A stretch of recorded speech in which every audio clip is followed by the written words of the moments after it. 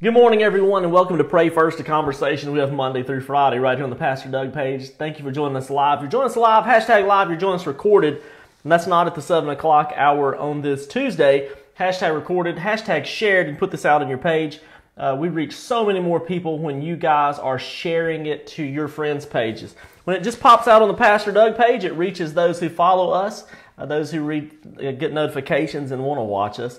Uh, but uh, when you post it out, it reaches literally thousands and thousands of more people. And I've met a lot of new friends, a lot of new Pray First family because of you sharing it out. Good morning, Nita K. Good morning, Amy. Good morning, Danielle. Good morning, Becky. Good morning, Philip. Good morning, Kimmy. Uh, good morning, everybody. How are you guys doing this morning on this Tuesday? We're going to continue talking about diabolos today. Diabolos is the Greek word for devil.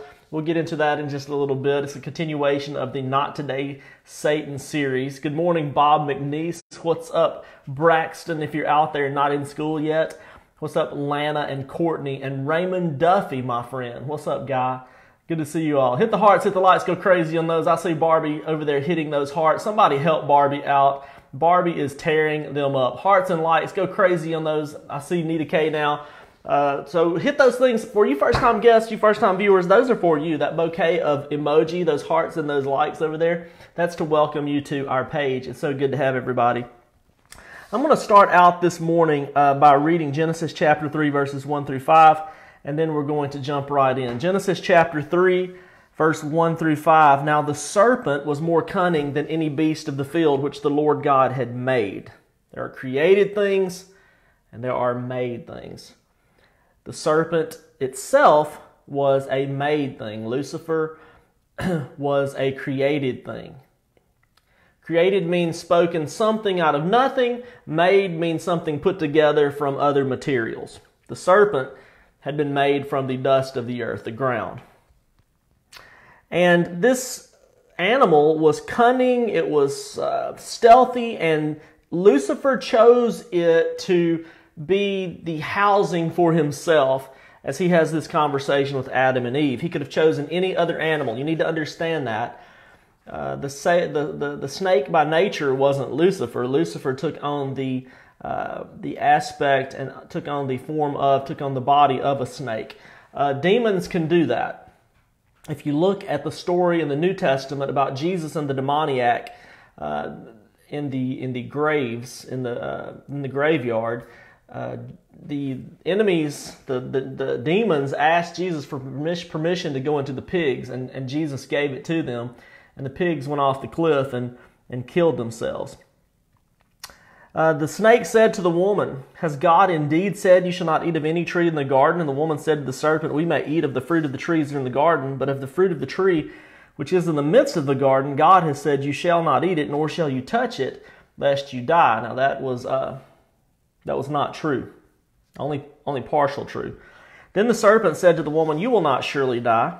For God knows in the day that you eat it, your eyes will be open and you will be like God, knowing good and evil. Our point in Genesis chapter 3, 1 through 5 is this that Satan, Lucifer, Diabolos, is so crafty, so cunning, so stealthy, so deceptive that he convinced two perfect people in a perfect environment that the person who put them in that perfect environment uh, was bad. And that's what he wants to do to you. That God is withholding something from you, that uh, God doesn't care, that God is not good. So, we're going to talk about four relationships that the enemy wants to divide you from because they are relationships that God has to redeem you. Four relationships that, that, that God has, has, has created for you, made for you, that he wants to use to redeem you that Diabolos wants to separate you from. He wants to uh, convince you, persuade you that these four relationships, uh, God is withholding something good from you in those, and that uh, He can offer you something that God cannot offer you. Everybody hashtag Diabolos. I want you to learn this stuff while we go. Hashtag Diabolos, D I A B O L O S, D I A B O L O S, Diabolos. It is the Greek word for devil. It means slanderer, it means accuser. Slanderer, accuser, slander, accuser. I'm really big on definitions, so I'll, I'll, tell you some definitions today, but one of the words you need to look up today is slander. I want you to understand what the word slander means. Diabolos is the slanderer, he is the accuser. And there's four relationships that Diabolos wants to separate you from because God created them to be redemptive for you. And they are known as redemptive relationships. Four redemptive relationships. The word redeem or redemptive means to save someone from error or sin. To save someone from error or sin. God's created these relationships to save us from error or sin. And here's the four that the enemy wants to separate you from. The enemy, Diabolos, wants to separate God and man. He wants to separate God and man because that is a redemptive relationship. That relationship can save you from error, it can save you from sin. He wants to separate, number two, marriage a covenant marriage between a man and a woman. He wants to separate marriages. How many of you notice that families are always under attack? Marriages. That's an easy one for him to slither into and, and separate from because you have two distinctive individuals uh, with two distinctive uh, free wills. Um, it's a it's a powerful thing, this marriage thing, when the two don't become one flesh. Uh, I've, I've told people in the past married people don't have marriage problems. Married people have single problems. The reason people have problems in marriage is not because they're married. The reason people have problems in their marriage is because one or both continue to act as if they're single. That's married people having single problems. The enemy wants to divide you from that marriage because he knows it is redemptive. It can save you from error. It can save you from um, lusts. It can save you from uh, bad soul ties. It can save you from, and, and people think, you know, you the only way to, to be separated from a a spouse in a marriage is, is simply through sexual ways or just growing apart. Another way to be separate in marriage is that um, you will develop a soul tie with someone else. And that soul tie uh, can drive that wedge in just as deep as any other. The third relationship that Diabolos wants to separate you from is uh, from God's family, the church. Diabolos wants to separate you from the family of God, the church. He knows that the church, the family of God, is a redemptive relationship, that it can save you from error and save you from sin. And number four, Diabolos wants to separate you from authority because authority is a redemptive relationship. And if you look at uh, the world that we live in in the United States of America, you will see that Diabolos is working very hard to separate God and man, uh, marriage, man and woman, uh, church, God's family, and fourth, from authority. And he doesn't care how he does it. He'll just he'll just he'll just do it through one of the areas in your life. He doesn't care how he kills, steals, and destroys uh, from you. So let's take a look at the first one and let's look at God's will for your life and what the enemy's will for your life is. Here's God's will for your life according to his word, not my opinion. God's will for everyone is to have a loving, committed relationship with him a loving, committed marriage and family. Now, everybody's not going to get married. And it's not even God's plan or will that, or necessity that you have to be married. So if you're out there single and you're thinking, man, that's one of God's redemptive wills, I better jump on that. Um, there are places throughout Scripture that indicate uh, that you single one are the wise ones uh, as long as you will keep yourself from error and, and from sin and don't be alone. Okay?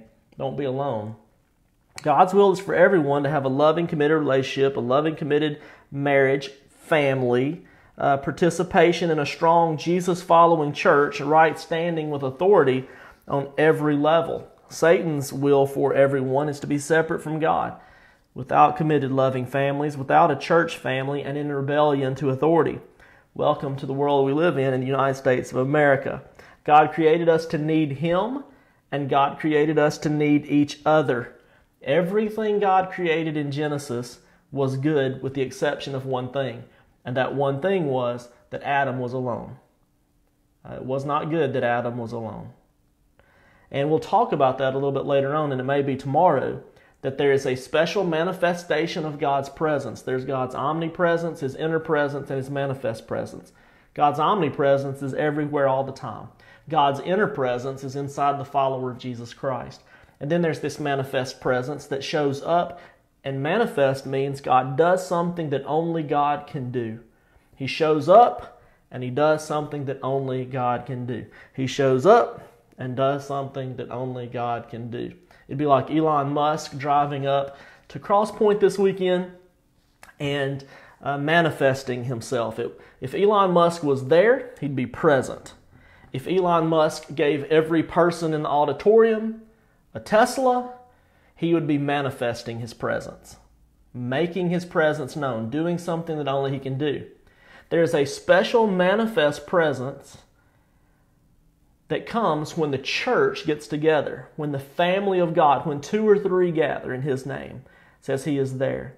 Um, that manifest presence means that He does something that only He can do, and it only happens in the presence of the family. And the reason He doesn't give that same special manifest presence to individuals is because He doesn't want you to be alone. God does not want you to be alone. So the enemy wants to separate you from God. And here's three ways he does it. Number one, Diabolos accuses God to us. In other words, every time something bad happens to us, every time something bad happens to someone we love, every time we see something bad happen to children or people in the world who, you know, they don't deserve it, uh, Diabolos will take that opportunity to say that God is not good. And Diabolos is so good, remember, at that, that deception that he deceived two perfect people in paradise, that the God who created the two perfect people and put them in a perfect place was in fact bad. So he can absolutely deceive us if we are not careful, if we are not walking in the Spirit, if we're not putting on the armor of God, if we're not lifting up the shield of faith, if we're not taking the sword of the Spirit. They had never experienced death, they had never experienced sickness or even a bad day, and the Diabolos convinced them that God was withholding something good from them and that God was doing bad things to them. What makes this characteristic of Satan so dangerous, Diabolos, is that he is so stealthy that he will slither into your life. He will bite you and he will slither out, and you will not even realize that he was there. Adam and Eve sinned. They took the fruit that they weren't supposed to eat. They took the deception. They, they, they stepped into God's place. They, they began to think of themselves, be self sufficient, self reliant. They wanted to be like God. Remember, that's what Lucifer did. He said, I'm going to be elevated to the most high places. I'm going to go to the farthest ends of the north. I'm going to be elevated to the top. I'm going to be like the Most High God. And when he got kicked out of heaven, he went and sold that same package to Adam and Eve, and he did not entice them to go and lie and steal and be perverted or murder or kill or hurt or do things like that to someone or something else or perversion or lusts or or anger or, or motivated by you know a spirit of theft or anything like that he came to them and he tempted them to be god. He said god's holding something back from you. He knows in the day that you eat this fruit that you will be like him. In other words you will be like the most high god. Lucifer was selling the same product to adam and eve and they bought it. The difference here is is that lucifer and a third of the angels were created with a spoken word I don't think Lucifer understood that Adam and Eve had been made, and that Adam and Eve had been made out of God Himself. When God wants something and He makes it, He speaks to what He wants it made from. Beast of the field, He speaks to the earth. Water, the air, He speaks to the things He wants something made out of. But when He made Adam, He looked at God the Father, He looked at God the Son, He looked at God the Holy Spirit and said, Let us make him in our image. And in the image of God, He made them, male and female, He made them. And when He did that, they were not this outside existence, they were his children. And things that are made from something are not only made from it, they're sustained by it and they return to it. Ashes to ashes, dust to dust. Your body was made out of the earth. Uh, the cow was made out of the earth. The fish made out of the sea. It will return to it. He made us out of Him so that when we die, we would return back to God. Um, Diabolos accuses God to us.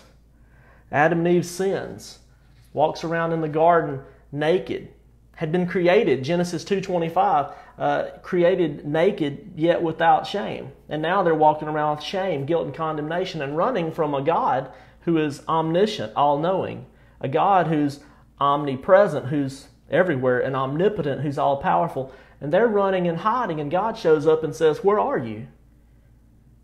Why do you not know me like you used to? What, what happened to our relationship? Who's deviled you? Who, who's deceived you? It's not that God didn't know that answer. God obviously knew that answer. He wanted to know did, do, do, does Adam and Eve understand who they've been talking to? Does Adam and Eve understand why they feel guilt? Does Adam and Eve understand why they feel shame? God's wanting to know does Adam and Eve realize why they don't have a relationship with God like they used to?